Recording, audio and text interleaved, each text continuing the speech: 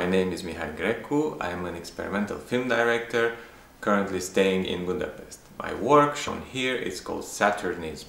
It is a scary immersive experience inspired by the masterpiece of Francisco de Goya. The virtual reality lets us feel space and sound at a whole new level. While I was making Saturnism, I had to learn to direct the viewer's attention in a 360 space. To me, a story stands out when it's weird, meaning that, that an inexplicable element alters the way a story is going. Immersion will change the way we experience stories. The story will not go from point A to B, but instead the viewer will assemble their own story from the given elements.